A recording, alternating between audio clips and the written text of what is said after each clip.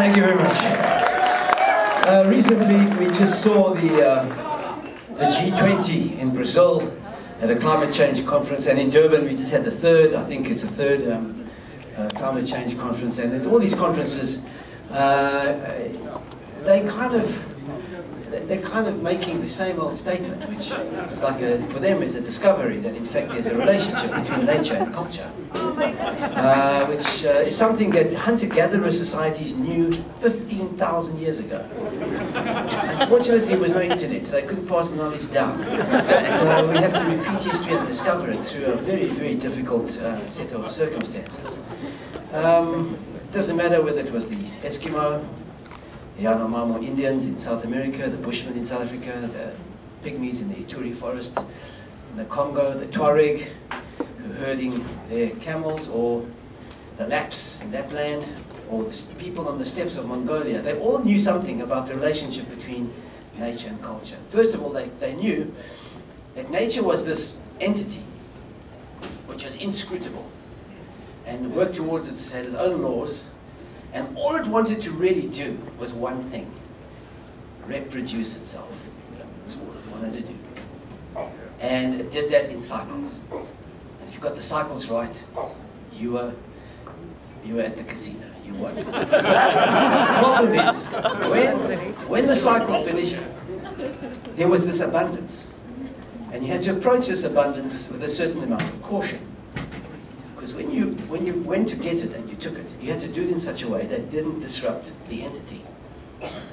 And so there were all sorts of rituals, recognizing that if you took this plant, this animal, whatever it is that you took there, there was something put there as a mark of respect to try and keep this entity happy, to say that we're not abusing the entity.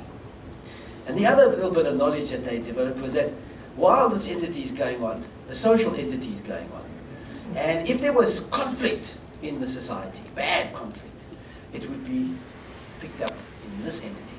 And so if you had real bad trouble here, there would be a drought. There would be a pestilence. There would be locusts. There would be a tsunami. There would be a volcano. There would be something that would reflect the conflict in, in, this, in, in, in society. And so I wrote the song uh, looking, because um, in, in uh, 1977, a lot of young men went to fight in Angola, um, uh, basically as, as, as, part of a Western strategy to isolate. Uh, the, the, it was a Cold War war. And so this war um, also brought in many players. It brought in Cubans from Cuba, who landed in, um, in, in Luanda, in Angola, and joined um, the ANC and SWAPO and many other um, uh, guerrilla fighters to fight against the South Africans. And this, at the same time, we were going through a seven-year drought. So I kind of made this connection, and I, and I wrote the song. Um, and it's really, uh, it's to those vanishing peoples who knew this thing that we, we, we, we're understanding now, and that we have to reduce our consumption in order to keep that entity going. So it's called, it's dedicated to all the wanderers, nomads, and all the, all the hunter-gatherers. Um, and at this time, we had many, many mercenaries coming in to join the fight, people from all over, from Vietnam, from, uh, from all the various wars that would be fought, would be fought and had been fought previously. So it was quite a, uh, quite a tense time in my country, and in fact the whole southern Africa. So this is the song, Digging for Some Words.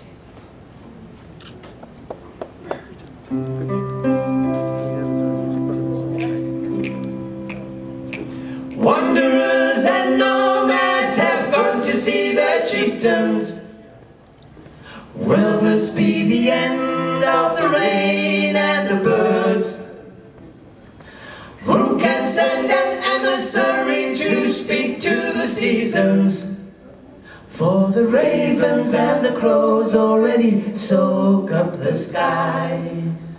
Well, I'm digging for some words beneath the stones in Zimbabwe. I'm searching for a drum song in the jungles of Zaire. I'm looking for the blood moon in the mountains of Malawi. I'm searching for the lion of Ethiopia.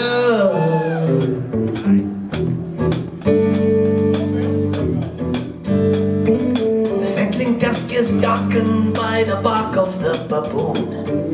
The frogs and the owls no longer call to the moon. The warlords have gathered, smoke hiss from teeth of chrome, and the pale baby trembles in the boiling bloodloam. The fireplace is broken and the grinding stone too. Its million pieces flung across the plains of Africa.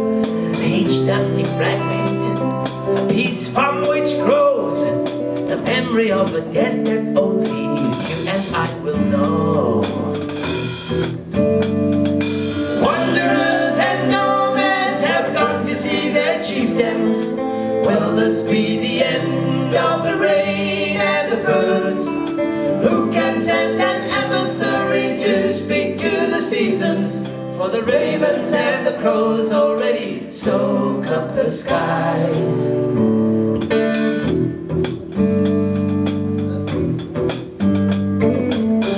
Seasoned soldiers have been summoned from Saigon. A craven walkie-talkie puts their bloodshot armor on. Some drink beer, milk, some drink drinking cola. Sheepdogs live in Outeniqua, gun dogs in Angola.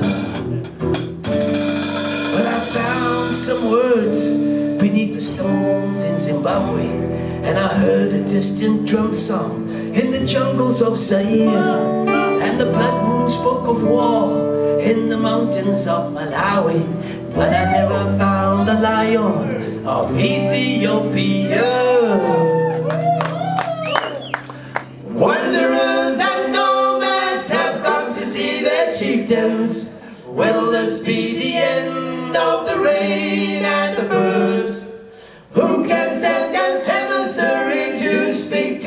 Seasons? For the ravens and the crows already soak up the sky.